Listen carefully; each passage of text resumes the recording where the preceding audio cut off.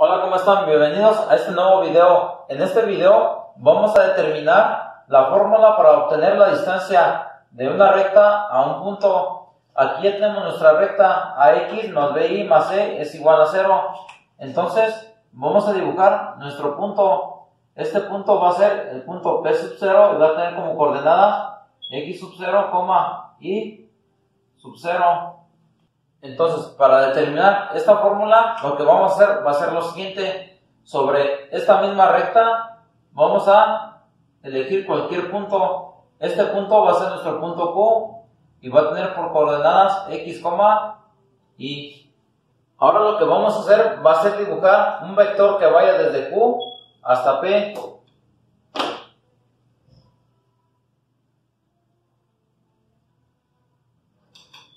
Aquí tenemos nuestro vector que va de, Q hasta P sub 0. Entonces, aquí tenemos que sobre este punto Q vamos a tener un vector que es normal a esta recta, es decir, un vector normal que va a tener como coordenada o como componentes a A, B.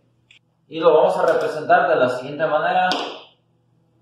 Este es nuestro vector normal, N.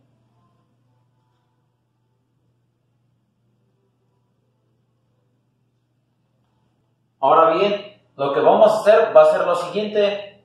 Vamos a obtener la proyección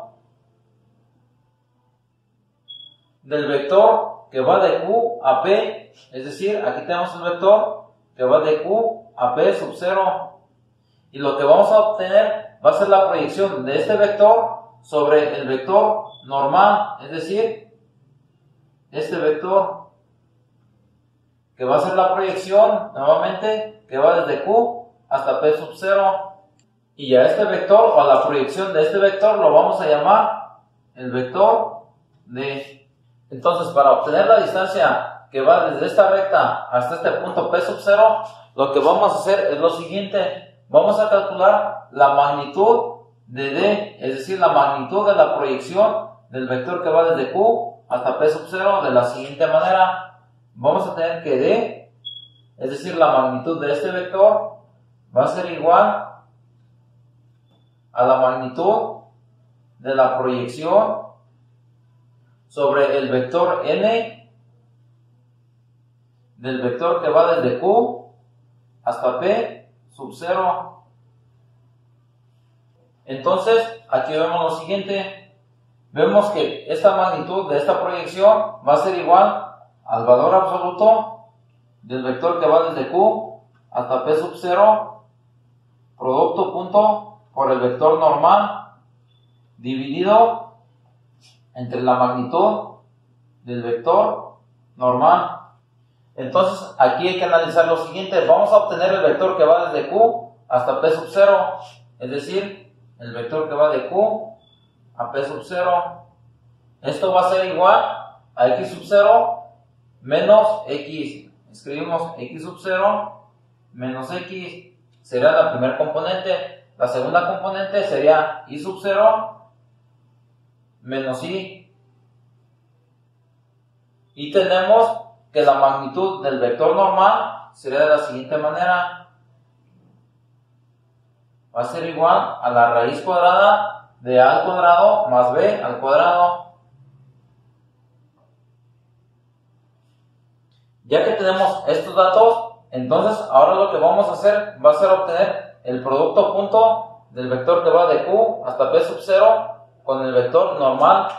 Entonces, así no lo vamos a tener el producto punto del vector que va de P hasta P sub 0 por el vector normal va a ser igual a el vector que va desde Q hasta P sub 0, es decir, X sub 0 menos x, coma, y sub 0, menos y, producto punto, a, coma, b.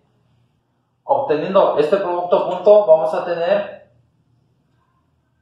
el producto punto que va, el producto punto entre el vector q y p sub 0 y el vector normal va a ser igual a a, que va a multiplicar a x sub 0 menos x más b que va a multiplicar a i sub 0 menos i. Entonces, ahora lo que vamos a hacer va a ser sustituir este producto dentro de estas barras de valor absoluto y también la magnitud de este vector normal. Entonces vamos a tener que d va a ser igual al valor absoluto de a por x sub 0 menos x más b por y sub 0 menos i. Todo esto dividido entre la magnitud del vector normal, que es igual a la raíz cuadrada de a al cuadrado más b al cuadrado. Si desarrollamos lo que tenemos en el numerador, es decir, d va a ser igual al valor absoluto de a por x sub 0 menos a por x más b por y sub 0 menos b por y. Todo esto dividido entre la raíz cuadrada de a al cuadrado más b al cuadrado. Aquí vamos a hacer lo siguiente, vamos a sustituir a c igual a menos a por x menos b por y. Haciendo esta sustitución en esta parte vamos a tener que la distancia va a ser igual al valor absoluto de a por x sub 0 más b por y sub 0. Haciendo la sustitución de estos dos elementos por c, tendríamos más c, o el valor absoluto de todo lo que tenemos dentro, dividido entre la raíz cuadrada de a al cuadrado más b al cuadrado. Y esta es la fórmula para obtener la distancia desde una recta hasta un punto.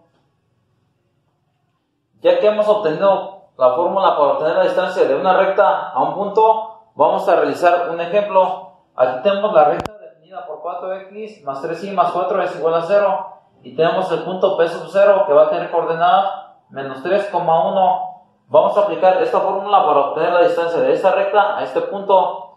Haciendo la sustitución de datos, vamos a tener que D va a ser igual al valor absoluto de A. En este caso vemos que A va a ser igual a 4, ponemos el 4 multiplicado por x sub 0, x sub 0 e y sub 0 son las coordenadas de este punto, entonces tenemos que x sub 0 es igual a menos 3 más b, en este caso vemos que b es igual a 3 multiplicado por y sub 0, y sub 0 vale 1 más c, vemos que c es igual a más 4, entonces ponemos más 4, todo esto dentro del valor absoluto, dividido entre la magnitud del vector normal, o es decir, la raíz cuadrada de a al cuadrado, es decir, 4 al cuadrado, más b al cuadrado, es decir, 3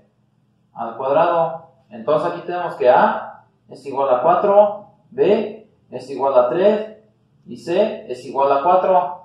Desarrollando vamos a tener que d va a ser igual al valor absoluto menos 4 por menos 3 nos va a dar menos 12 más 3 por 1 nos va a dar más 3 y tenemos el más 4 todo dentro del valor absoluto dividido entre la raíz cuadrada de 4 al cuadrado 16 más 3 al cuadrado nos va a dar 9 simplificando vamos a tener el valor absoluto de menos 12 más 3 y más 4. Esto sería igual a menos 5, o el valor absoluto de menos 5, dividido entre la raíz cuadrada de 16 más 9, sería 25. Valor absoluto de un número negativo va a ser igual a el mismo número únicamente que positivo, es decir, 5 dividido entre la raíz cuadrada de 25, que es igual a 5. Por lo tanto, vamos a tener que esta distancia va a ser igual a 5 entre 5 a 1 y listo. Esta es la distancia que hay desde esta recta hasta este punto utilizando la fórmula que acabamos de obtener. Si desean apoyarme, por favor compartan, suscríbanse y activen la campana de notificaciones. Muchas gracias y hasta el próximo video.